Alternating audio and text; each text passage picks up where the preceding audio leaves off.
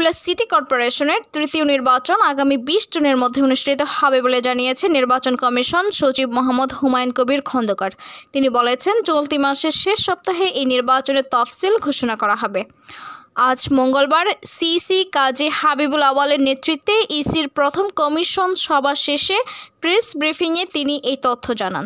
এই দিন সকাল এগারোটায় ইসির সম্মেলন কক্ষে এই সভা শুরু হয়।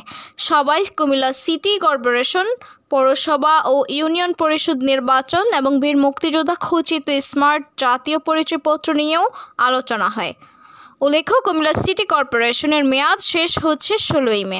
আইন অনুযায়ী এর আগেই নির্বাচন শেষ করার বাধ্যবাধকতা রয়েছে।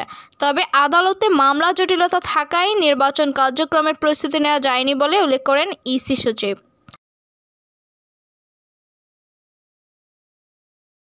Jennifer Poly, Comilla news one, Comilla.